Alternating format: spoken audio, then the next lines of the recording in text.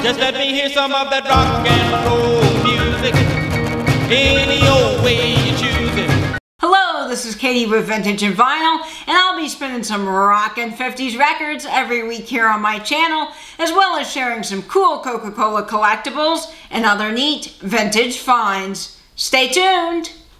Hey guys, this is Katie with Vintage and Vinyl back with another great video for you today. In this video, we are talking all about Fostoria. I've got some gorgeous pieces sitting in front of me here, and I can't wait to take a deeper dive into my collection of Fostoria. So just a quick note, if you're not following me on Instagram, you really should. That's vintage underscore and underscore vinyl. I will post the link down below, but please go check out my Instagram because I share the live sale calendar and there is still so many great events happening this week on YouTube from live sales to premieres to live chats just a whole bunch of fun and you don't want to miss out on it. So go check out the calendar. And a big thank you to Kori, the Thrifted Artist, our fellow friend and YouTuber. She makes that calendar, compiles everything that's happening into one handy spot so we can check it out and not get confused about what's going on. So check that out. Support everybody you can. Subscribe to their channels. Leave a kind comment and just have fun this week in the live sales and live chats. Okay, so let's go ahead and get on with this video. There's so much glass here. I'm sorry, this is going to be enormously long because I love Fostoria and I have quite a bit of it. So Fostoria is what we would call an elegant glass company. It is not your typical run-of-the-mill glass that was given away during the Great Depression or stuffed inside of flour sacks. And there is nothing wrong with that glass. I love all glass. It's beautiful and it's collectible. But Fostoria made better glass. They are in that kind of elite group of different glass companies like Heisey, Paden City, Tiffin, the list goes on. And of course, if you follow Scott at the old Curiosity Shop, he talks about that list all the time of the better, more expensive, well-made glass companies out there. But this is one of the best glass companies, in my opinion. Fostoria just made some gorgeous stuff. And Fostoria was founded in Fostoria, Ohio on December 15th, to be exact, in 1887. And then they moved their whole operation from Fostoria, Ohio to Moundsville, West Virginia in 1891. And of course, uh, Moundsville, West Virginia, or West Virginia, was where a lot of bigger glass companies were like Paden City.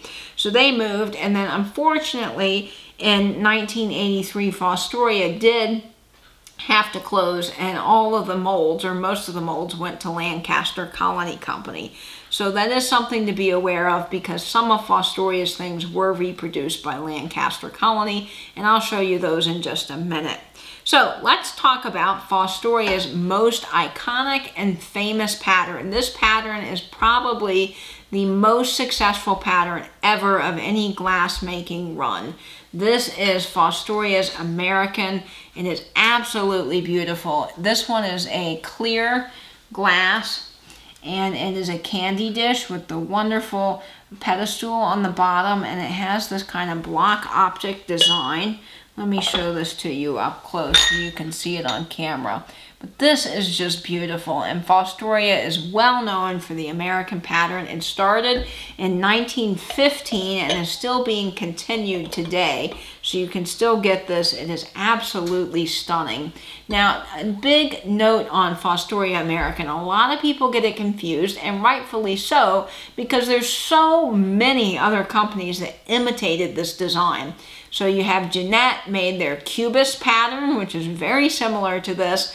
And then you also have Whitehall. And I constantly see this on the Fostoria Facebook group I'm in of people saying, is this Fostoria? And everyone's, no, it's Whitehall. And it's not their fault. It all looks so similar. So this is where a book like this is really, really helpful. And this is Fostoria's First 50 Years by Hazel Marie Weatherman. This book is amazing. It has all the pictures straight from Fostoria's original catalogs and mold designs, and it has everything you need to know. And what's really helpful about this is I'm just going to show you Fostoria American, or Americana as some people say, because this is really where these books are so helpful. See, here's my candy dish here. So I was able to identify it and I can see everything about it. But you see these bowls? This is one way to say, okay, that's not Whitehall because Whitehall made their bowls with little toes on the bottom or feet. And Fostoria never did. You don't see a single toe on any of the bowls that is shown here for the American pattern. So that is where something like this gives you those extra details to really look and see what exactly they made, what they look like, and kind of be able to distinguish the difference between Whitehall, Cubist, and American. So that is something to be on the lookout for when you are shopping for American. It's easy to get confused, but get a book like that and you won't be. Okay, so the next pattern I'm going to share with you all is something that's really special. My mom found this in a box and I was so excited when she found it because I knew it was Fostoria and it was just gold sitting in the upstairs attic waiting to be discovered. But this is Fostoria's 1930s geometric pattern designed by the famous George Sakier. He was one of Fostoria's most famous and iconic designers Everyone's heard of him in the Fostoria world, and this is just gorgeous. This was produced in the 1930s, I believe into the early 40s, and then they stopped production. There wasn't any more of these made, and this is very Art Deco in my opinion. It's just beautiful. This came in several colors. This is the blue, but several other uh, colors include clear and yellow. So you want to be on the lookout for those. But when you type this in on Google, you want to type in Fostoria Geometric George Sakier Bowl, and this will come up and you'll be able to find it. Now this is a console bowl, which meant that it probably would have gone on top of a television.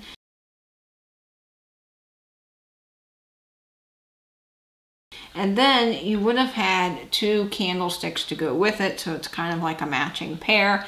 And there are two geometric candlesticks in the blue color here.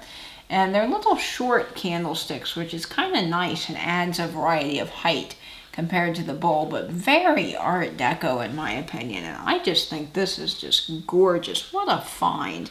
So I am so lucky to have these. I don't know who they belong to. My grandmother can't be uh, with us right now because of COVID, so I can't really show those to her to help her remember what they look like and figure out who might have had them. But they're gorgeous and I'm grateful to be enjoying them now. So the next piece of Fostoria is one that I think is really unique.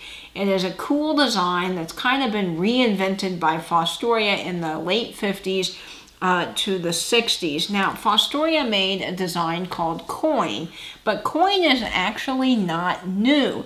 Coin was made by the U.S. Glass Company in 1892. But what's interesting about Coin is when it was first made, they used real coins from the U.S. Treasury to imprint that design into the glass. Well, the Treasury found out about it and they weren't too happy and they said, oh, this is counterfeit. You can't do that. And they put a whole stop to the operation. So nothing really became of that until the late 50s, early 60s when Fostoria decided, let's make our own version of coin. So they did, and they produced it for Avon. So there's a lot of beautiful coin glass out there, but not all coin glass is the same. Now, you have several different generations of Fostoria coin, and I've talked about this on my channel before, but it's really important to know, especially if you're a reseller, you don't want to get coin that may not be as desirable because not all coin is wanted by collectors. And here's what I mean by that. This is first generation acid washed coin. That means that this was a process used to make the frosting on the coins called acid washing. After that, Fostoria switched to sandblasting. Now, the reason why they switched to sandblasting is because the U.S. government banned acid washing. So after that, they switched to sandblasting, and that is called second generation coin. Most collectors are most impressed with first generation coin. The reason being is the coins just look good. They're sharp, they're clear, they're not fuzzy. The acid washing just makes them pop off the glass versus sandblasting, which isn't as good. And then Lancaster Colony Company got the molds and reproduced that in the 70s and 80s. And boy, the Lancaster Colony Company stuff just looks awful. the colors aren't right. The coins sometimes are so sandblasted off. It's like they just let the whole coin become almost not even frosted because they just blasted the heck out of it. And then other times it's so off center and so fuzzy you can't even really see what the coin's supposed to be. So that's kind of the downfall with the Lancaster Colony Company. Now, Fostoria never reproduced the amber or the olive color. Fostoria, I mean, they produced that, and Lancaster Colony Company never reproduced it. So if you have something you generally know in this color, you will know, of course, that it's not Lancaster Colony Company, and you can be sure of that if it is amber or olive. Now, clear, red, blue, and green were all reproduced. So let me show you the coins up close. Now I have a Lancaster Colony Company piece here, and then I have a Fostoria piece. So I'm going to show you the difference. This is Fostoria first generation coin you can see how crisp the coins are. And this has a very American style motif on it. You've got the Liberty torch and then you have an eagle. It says 1887. And you can see on that coin that says 1887, you can see how sharp that is. The coins are evenly frosted. They look very sharp. They're standing out. You can read 1887 well. You can see the eagle. There's nothing wrong with it. It just is really, really nice coin glass. Now, this is a creamer and sugar set. So I just showed you the creamer. Now here's the sugar. It's got a covered lid here with this kind of wonderful little point design. And ooh, let's not break all the glass there. This is just beautiful. And again, this is first generation coin. This coin was acid washed. Now, let me show you Lancaster Colony. This is a candy dish made by them. You can see that the color is this blood red, dark color. The original Fostoria coins in this color will be a beautiful, bright, cherry tomato red. So there's a big difference. They're easy to spot. The blue that Lancaster Colony Company made is like this dark navy, and Fostoria's blue was this beautiful kind of Caribbean ocean blue. So it's just gorgeous. So let me show you the coins up close. Can you see on this coin in particular how it is not perfectly centered, the frosting there? It doesn't go all the way to the edge. Let me see if that's going to focus for you. And you see how kind of fuzzy and hazy that looks? Now let me hold this up and let me try to hold up coin so you can see it better. But this is an uh, acid washing here on the amber and that is sandblasting done by the Lancaster Colony Company. I hope you guys can see the difference, but it is something you really have to study and look up in person. It's really hard to buy coin online unless you know the colors that you're getting. See, Louie agrees with me. unless you know you're getting Oliver Amber, which was never reproduced. Now, I also have a pair of beautiful candlesticks in clear. This is acid washed first generation coin. And what's neat about this is this has the Liberty Bell and then it has 1887 and it has sort of a early American soldier motif on it. So these are really pretty as well. And I love the coin design. I don't know why I'm attracted to that, but I just think it's so neat. Uh, and I really, really love this by Fostoria. So I have two of these and they are just lovely. Okay, so moving right along, the next piece of glass by Fostoria is this gorgeous compote. It is in a yellow color, or most collectors would say topaz, but this is in the June pattern. This is just gorgeous etched depression glass, really delicate, really beautiful. Kind of has a little bit of an optic design to it, but I just love the pattern. Now, one thing with Fostoria's patterns is a lot of them were flower designs. So you have to kind of look specifically at the design to tell the difference. And what stands out from all the other flowers for June is that June has a bow. And you can see that beautiful bow there on the compote, if that will show up. See the ribbon going around the outside? That's how you can tell June apart from, say, Chintz or Versailles or any of the other Fostoria patterns. So that is Versailles. That's not Versailles. I'm just telling you all kinds of things that don't make any sense. That is June. And yes, it was introduced in 1928 and it was not produced after 1932. So they completely stopped production in 1932. But I love June. Again, one of my favorite Fostoria patterns. Now the next piece is Fostoria Crown. And this is not depression glass. This would have been produced from 1950 to 1960. And this was designed kind of after British royalty. And this is definitely a design by none other than George Sakier. So this is one of his famous designs and it's beautiful.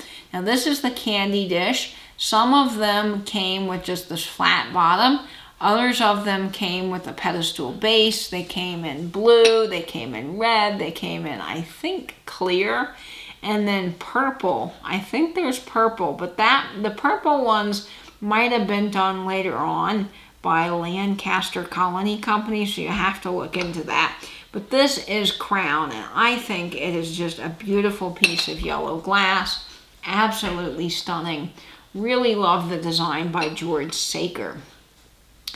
The next piece of Fostoria is one that I am kind of quite proud of because I got it for 43 cents at the Goodwill. I went in last October to buy a jacket for a Halloween costume for my costume party and I didn't find the jacket I was looking for but I came out with this gorgeous bread plate and I knew it was Fostoria and the funny thing is is there's these ladies in there shopping they were resellers and they were just buying up all the glass and they left this behind and the one lady goes oh that's nothing I thought to myself, I'm scooping that up. That's Fostoria. So the next piece of glass I'm going to share with you all is in the Navarre pattern by Fostoria. Now I shared the big pitcher. I have the tall glass pitcher that belonged to my grandmother a few videos ago. But this is a bread and butter or small little tidbit plate by Fostoria. This was produced in 1937. And there's kind of a funny story to this plate. I think I've shared it before, but I'll share it again.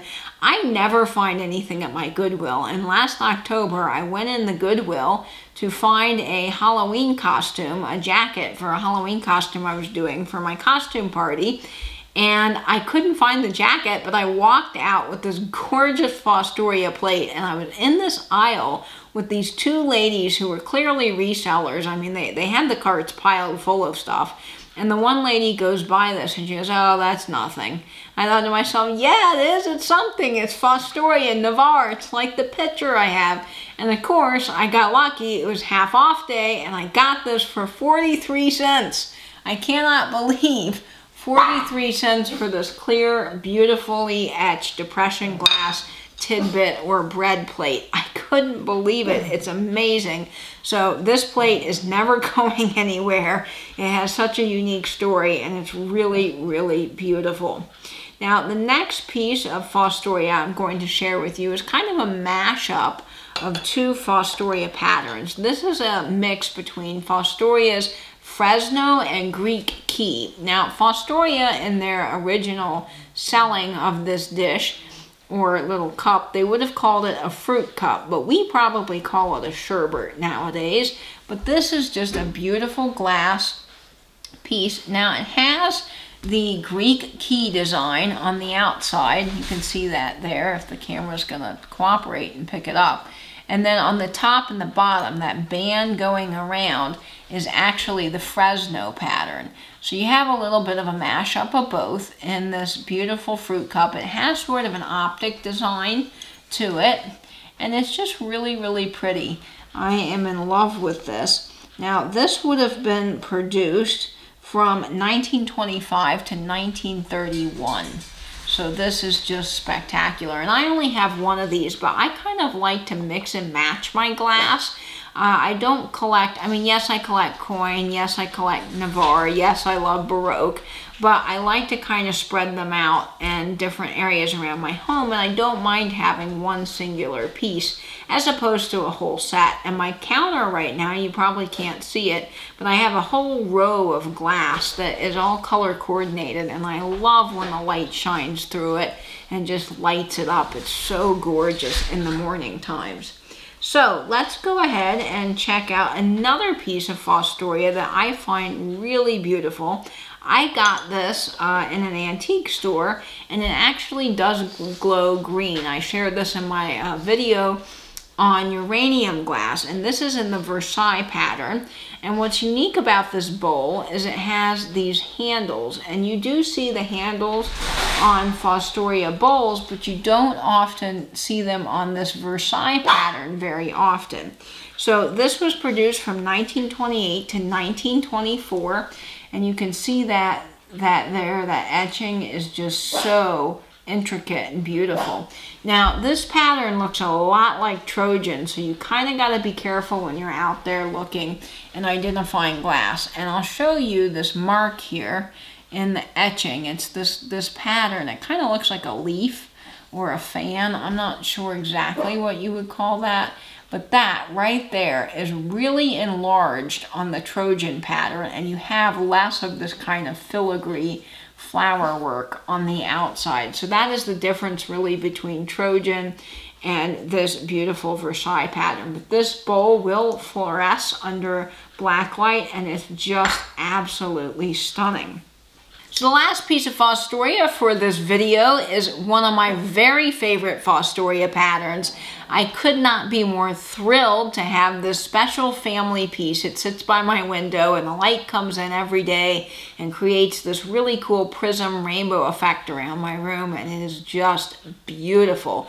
These belonged to Evelyn Nunley, who was related to my great-grandfather. These sat atop her piano and I am thrilled, as I said, to death to have these. These are in the Baroque pattern, and Fostoria made the Baroque pattern from 1936 to 1966, but these candlesticks are almost 100 years old. And I only brought the one because I was really afraid of holding both of them at one time. My kind of rule with glass is that I try to hold one individual piece at a time so I don't break something. But this is just beautiful. Uh, this candlestick here has these gorgeous crystals that hang down and then it has the Baroque design.